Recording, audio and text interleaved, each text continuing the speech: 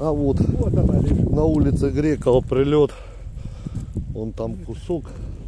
В тот дом попала. А здесь оболваночка такая. Вот похоже как на авиабомбу. Я не знаю, ребят, что это.